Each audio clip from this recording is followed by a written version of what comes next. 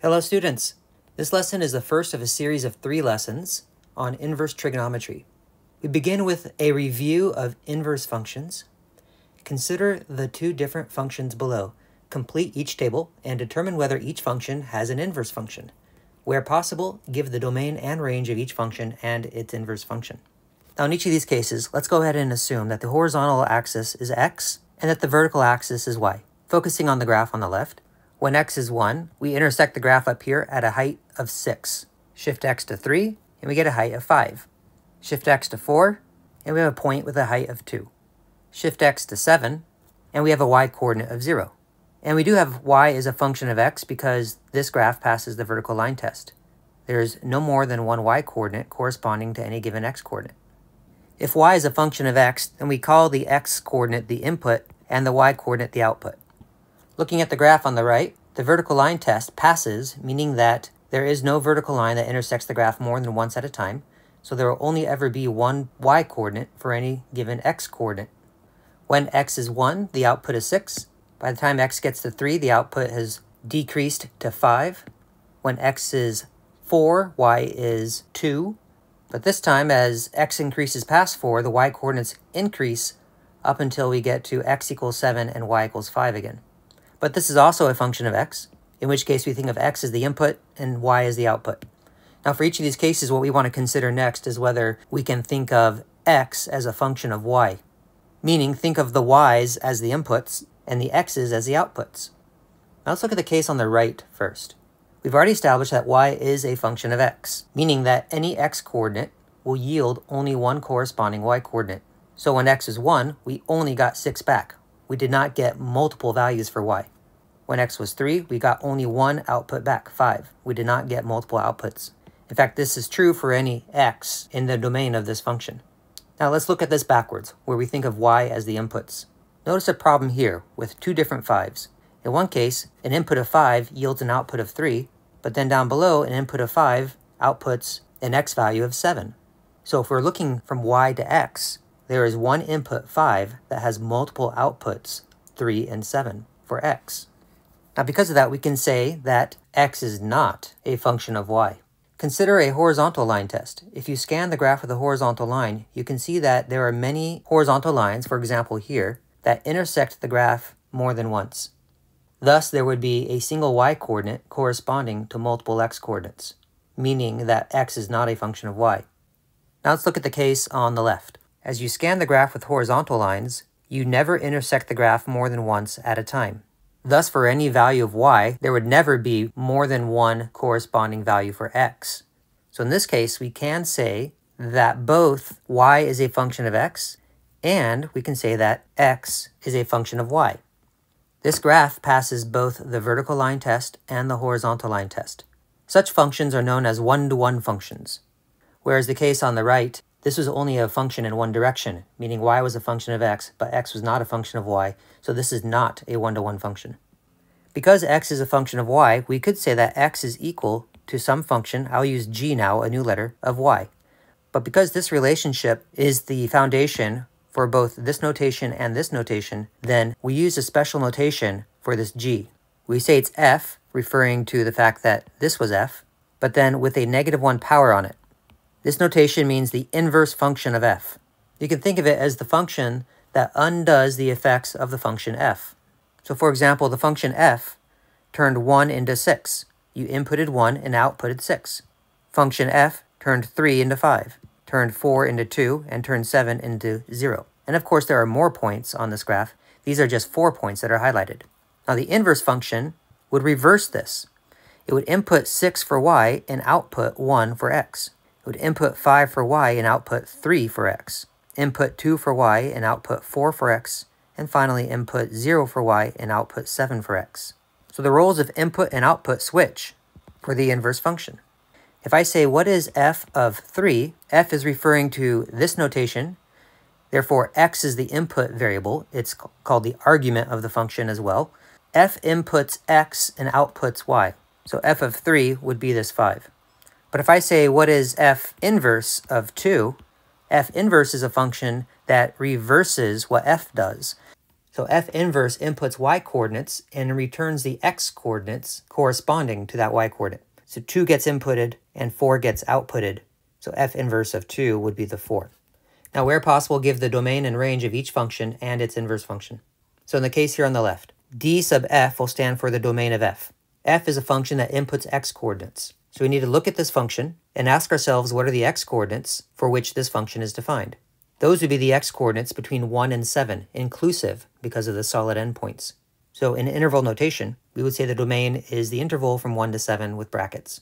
The range of f, we'll say capital R sub f, are the outputs of the f function, and the f function outputs y coordinates and the lowest y-coordinate is 0, and then all the y-coordinates are possible up to height 6, both endpoints included. Now because the roles of input and output switch when considering the inverse function, then we expect the domain and the range to switch.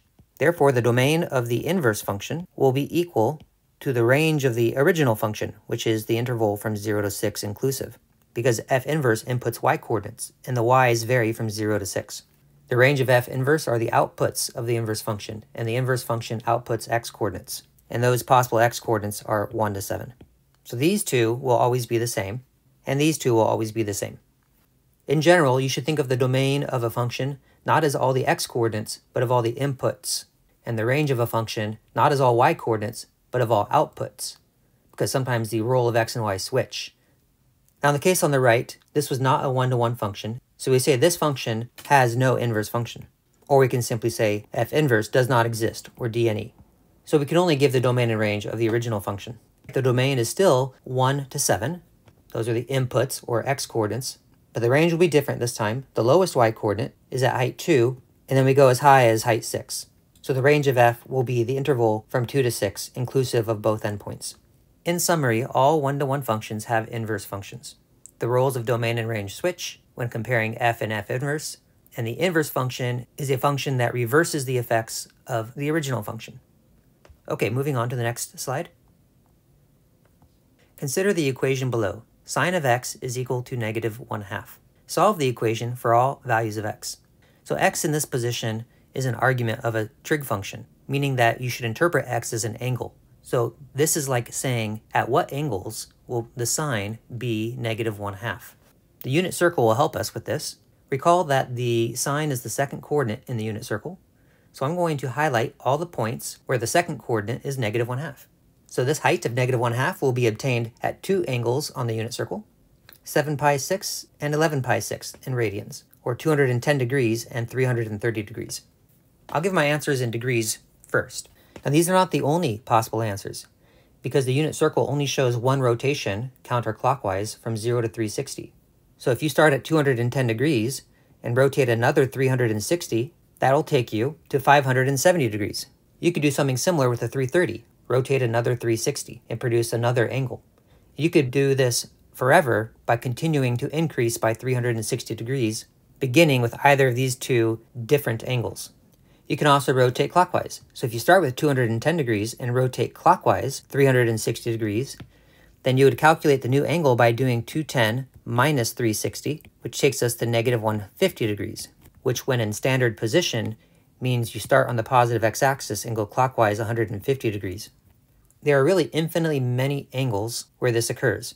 To write all of them at once, you can say something like the following. 210 degrees plus any multiple of 360 degrees, where n is an integer.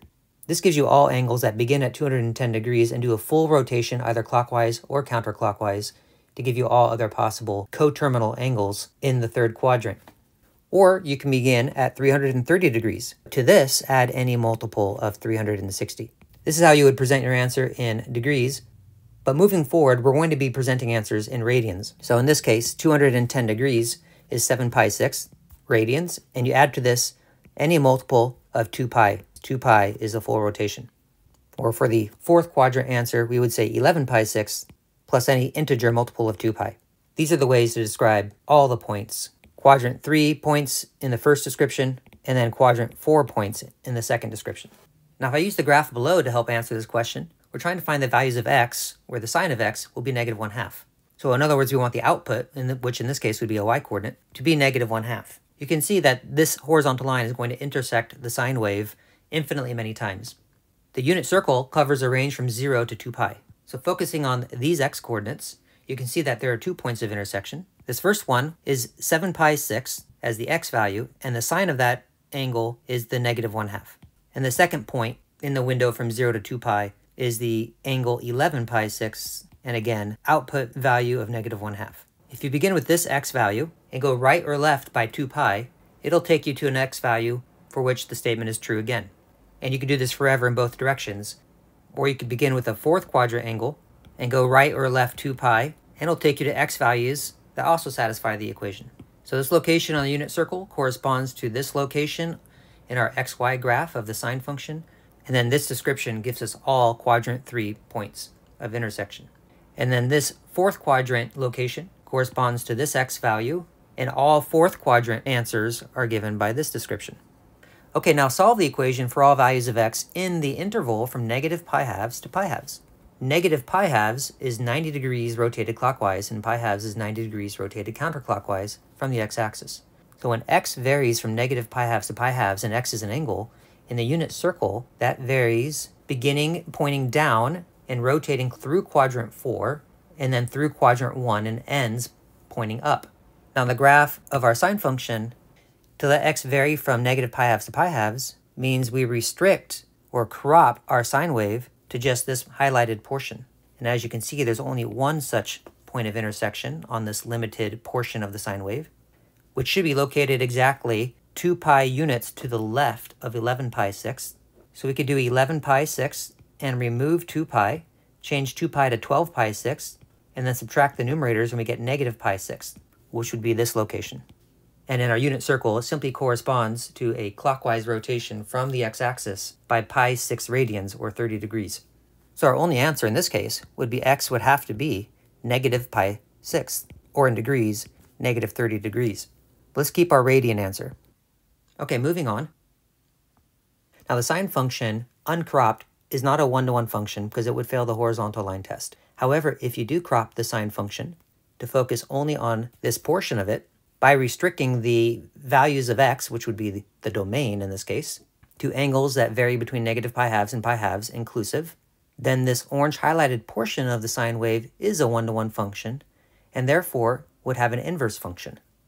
Now let's complete this table. We will choose angles between negative pi halves and pi halves, and I will choose angles for which the unit circle will be helpful, but there will be one angle for which it will not be helpful. And then we will compute the sine for that angle, which will be the second coordinate in our unit circle. Now I use the word ratio here because the sine of an angle is really the opposite divided by the hypotenuse, and we call that a ratio. So for this function f, keep in mind that f inputs x, which is an angle, and outputs sine of x, which is a ratio. As far as f is concerned, the angle is an x-coordinate, which is the input value, and the opposite divided by hypotenuse, or a ratio, is the y value, or an output value. So the sine of negative pi halves. Let's find negative pi halves on our unit circle. That's rotating clockwise pi halves. That's coterminal with 3 pi halves. And we focus on that second coordinate. I'm going to get a negative 1. This is the lowest that the sine wave will ever get. Now we do negative pi fourths. Negative pi fourths is a clockwise rotation from the x-axis by 45 degrees, or half of pi halves. That would be coterminal with 7 pi fourths. And looking at the second coordinate right there, we get negative rad 2 over 2. If you turn this into a decimal, it's about negative 0.7. Again, clearly in this interval. If the angle is 0, this angle here, and the second coordinate is also 0. The sine of 0 is 0. Looking now at pi 6, the second coordinate is 1 half. Let's skip 0.8 for a moment and rotate to pi halves, taking us to this position here, and the second coordinate is that 1. And this is the maximum ratio we can get when we do opposite over hypotenuse. Looking at this graph here, when x, the angle, is negative pi halves, we have an output of negative 1. When x, the angle, was negative pi fourths, we got an output of negative rad 2 over 2. When x is 0, so is y. When x is pi sixths, we had an output of 1 half. When x is pi halves, we had a maximum output of 1. So now where does this 0.8 come into play? In decimal form, all of these angles are as follows. So 0.8 would be somewhere between pi 6 and pi halves. And if you reach for a calculator and type in sine of 0.8 and make sure that you are in radian mode, you get approximately 0.72. 0.8 is roughly in this location, and we have 0.8 comma 0.72. Now, because this portion of the sine wave is one-to-one, -one, we can define an inverse function. For this inverse function, whatever it is, The ratios would be the inputs, and the outputs would be angles. The notation for this inverse function is as follows. f inverse of, and now we need to put a variable here, since we're inputting this column, and we call this column y coordinates. Let's go ahead and just say y for now. f inverse of y would be equal to, and then our notation for the inverse of sine is you simply write the sine notation, but put a little negative 1 power on it, and then put of y. An alternate notation is to write arc sine of y. Now, in reality, the letter that we use for the input variable is arbitrary. I could change all these y's to z's, or to r's that stand for ratio. Or even, at the risk of causing confusion, I could use x again. But this time we would, we would want to think of the input, therefore, as an x-coordinate and the output as maybe the y-coordinate. Well, no matter what letter you put in here, even if that variable is x, you want to remember that the arc sine is an inverse sine function which inputs ratios and outputs angles. This would be a ratio of sides, in this case, opposite divided by hypotenuse. Input ratios, output angles. Let's explore this on the next page. Find the following values by using the unit circle. Give answers in radians and degrees. As soon as you see this sine to the negative 1 power, this is an inverse sine function, which means that its input is a ratio, and we want to produce an output that's going to be an angle. Let's call this alpha for now. Basically what this is asking us to do is to find the angle alpha at which the sine is rad 3 over 2. So it's just like saying solve sine of alpha equals rad 3 over 2. And alpha must be limited to being an angle from negative pi halves to pi halves, because that is how we cropped the sine wave in order to make it a one-to-one -one function. So when using the unit circle to help me do this, I know I'm limiting myself to angles between negative pi halves and rotating counterclockwise to pi halves. So I only get to look at the right side of the unit circle, which is quadrants 4 and 1 and then I start scanning the y-coordinates. And I look for a y-coordinate that's rad 3 over 2, which is here. So my answer in radians would be pi thirds in degrees 60 degrees. When in degrees, make sure that your angle is between negative 90 degrees and positive 90 degrees. So when you're finding the inverse sine of something, you are looking for an angle. And those angles have to be in the fourth and first quadrants. Let's do the next one. When you see this arc sine, that means exact same thing as seeing a sine to the negative 1 power like this. They both just mean the inverse sine function. So again, I know I'm looking for some sort of angle. I'll call this beta. And I want to solve sine of beta is equal to negative 1 half, which is what negative 0.5 is. And furthermore, beta must be an angle in the fourth or first quadrant. So again, scan all the second coordinates of the points along the unit circle that are on the right side of the unit circle and look for that negative 1 half. And it occurs only once right here. Again, do not look at the second or third quadrants. And that angle, according to the unit circle, is either 11 pi 6 radians or 330 degrees. If you were to put one of these answers down, it would be an invalid answer because it is not in this interval. What you need to do is describe this location by giving a negative coterminal angle. So instead of giving the answer of rotating counterclockwise 330 degrees, we need to give this coterminal position by rotating clockwise 30 degrees, or pi 6 radians. So negative pi 6 radians, or by rotating negative 30 degrees. Let's confirm these with technology. Using Desmos, you can type in sine, then as an exponent, put a negative 1, and then put your argument in parentheses. And in the first case, our argument was rad 3 over 2. And furthermore, if you want your answer to be in radians, click the wrench and make sure you have radians selected. Now the answer it's giving us is the decimal form, and a moment ago we said that the answer was pi thirds. Notice that both of these expressions have the same decimal representation. This confirms that pi thirds is the correct angle. You can also type arc sine. If you want your answer in degrees, switch over to degrees. And notice it confirms 60 degrees is the correct angle. Let's go back to radians and change my argument to negative 0.5. Notice the answer gives me. This is a radian measurement. And a moment ago we said that the answer exactly should be negative pi sixth, confirmed here. Click the wrench and switch to degrees, and notice it gives us the negative 30 degrees. Okay, looking over to the right column, find the following values by using a calculator. Give answers in radians and degrees. So you have arc sine, or inverse sine, or sine to the negative 1, of 0.75. Type in arc sine 0.75, go back to radians, and we get 0.8 0.48 approximately. And that's measured in radians. Switch to degree mode, and we get an answer then in degrees of about 48.6. Now what this is telling us is that the sine of approximately 48.6 degrees will give us an opposite over hypotenuse value of 0.75. So again, this is a ratio, specifically opposite over hypotenuse, and the outputs of the inverse sine function are angles, specifically somewhere in the fourth or first quadrant. Arc sine of negative 0.2 in radians is about negative 0.201, and in degrees, about negative 11.5. This is a good time to make an observation that if the argument of an inverse sine function is positive, like 0.75, then the answer we get should be a first quadrant answer, specifically an answer somewhere between 0 and pi halves. That's because it's only in quadrant 1 that we'll have a sine value, or the second coordinate, will be positive. Or looking back at this graph, if we want a positive output of the sine graph, we need to make sure we pick a first quadrant angle. But if you use an input that's a negative ratio, then we expect to get a quadrant 4 answer, specifically something in the range from negative pi halves up to 0. So in other words, a quadrant 4 answer using a negative angle. Again, the sine has negative values only if we use negative angles that take us into this fourth quadrant. Or in this imagery, if we want a negative output of the sine function, we need to use a negative x-coordinate or a negative angle. Now this last one, arc sine of 1.2, notice technology gives me undefined. This is because it is not possible for the sine of an angle to be as high as 1.2. Looking at this graph, 1 is the highest that the sine can ever get, and negative 1 is the lowest it can ever get. The sine can only produce ratios that are between negative 1 and 1. Therefore, this expression does not exist, or DNE. This is a good time to draw attention to domain and range of f and f inverse. f was a function that used angles as inputs, and those angles had to be between negative pi halves and pi halves. And then the outputs, which are ratios, needed to be between negative 1 and 1. Now for the inverse function, which is arc sine, the role of domain and range switch.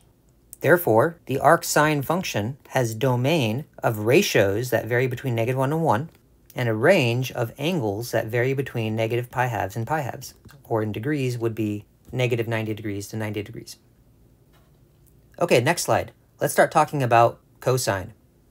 Now, like the sine wave, the cosine wave in its entirety is not one-to-one. -one. It fails the horizontal line test. But if you crop it, and we're going to crop this one differently, by limiting your angles to 0 to pi, that gives us this portion of the cosine wave, which is a one-to-one -one function. It passes both the vertical and the horizontal line test. Therefore, it has an inverse.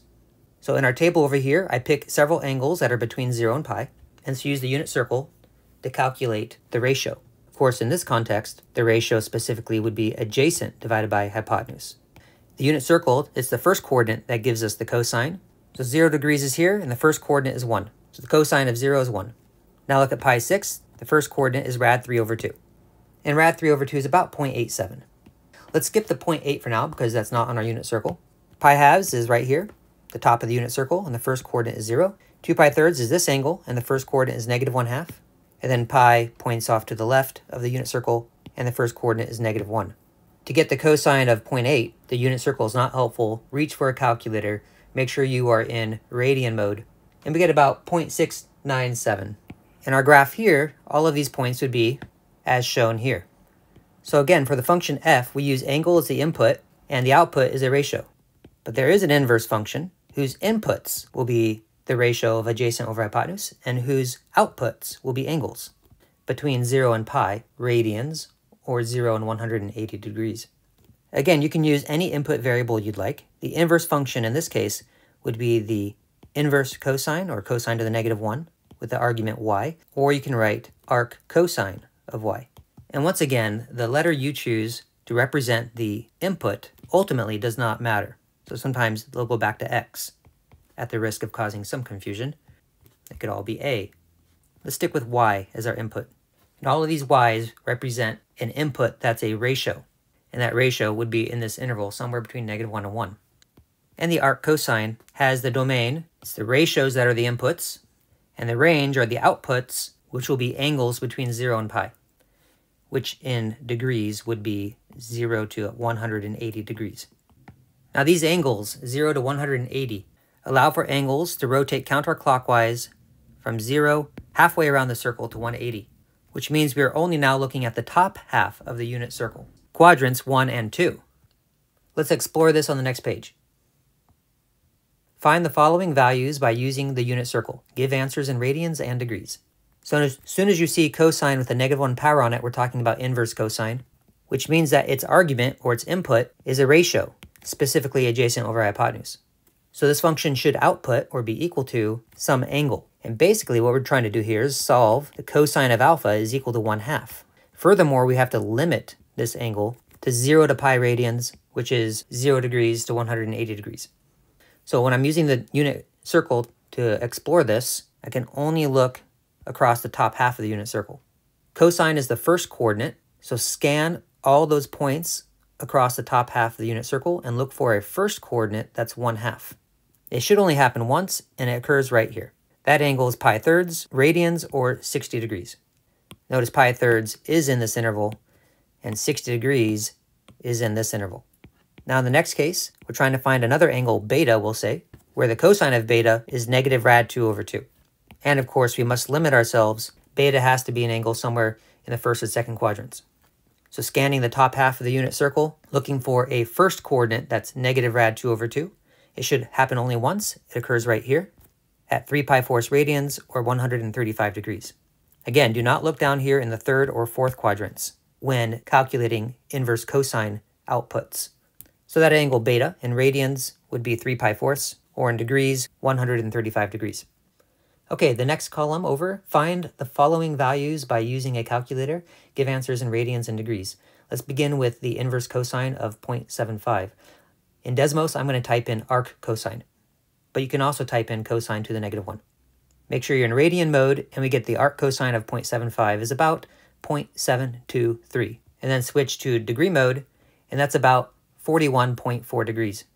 In summary, the cosine of 0.723 radians, or about 41.4 degrees, when you do adjacent divided by hypotenuse, you would get 0.75 or 3 quarters. Let's do arc cosine of negative 0.25, or negative a quarter.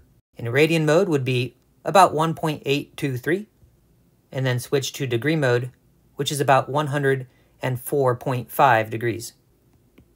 Now, when you're doing inverse cosine and you have a positive ratio, so the ratio is more than zero, then your answer should be a quadrant one angle. In other words, it has to be somewhere between zero and pi halves.